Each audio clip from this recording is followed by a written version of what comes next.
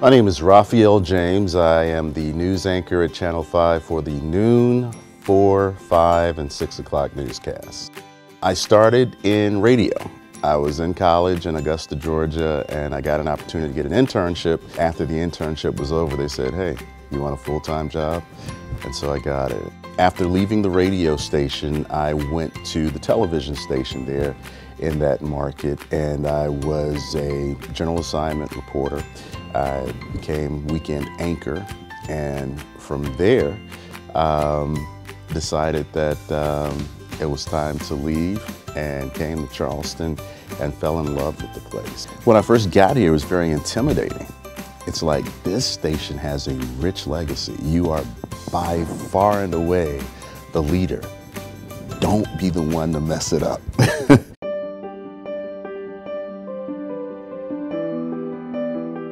My son has special needs, and we were trying to find a way to get him involved in a positive uh, setting, find things that engaged him. And one of his favorite teachers formed a group, and he became a part of it, and we loved it.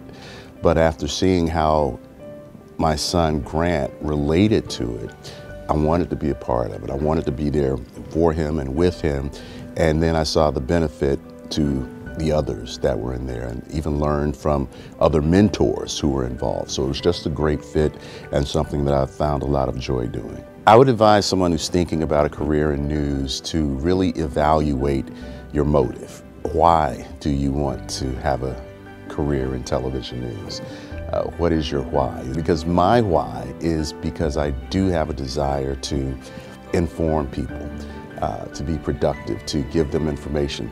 I am grateful for the opportunity to have been here at Live 5 for so long. I think people look at Live 5 and think family. And hopefully in 70 years, we will still be ingrained as a central part of everyone's family.